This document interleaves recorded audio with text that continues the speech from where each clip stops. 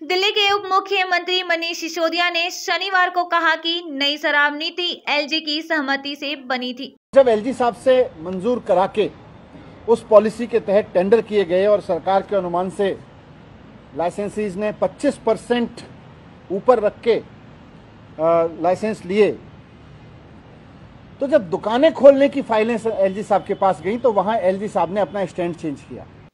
इस नीति के उनके सुझावों पर भी अमल किया गया। अगर यह नीति गलत थी तो उन्होंने उस समय आपत्ति क्यों नहीं ली? उन्होंने कहा कि जब दुकानों को खोलने की फ़ाइल एलजी के पास गई तो एकाएक स्टैंड बदल दिया गया। दुकानों की बात पर एलजी ने फैसला बदला।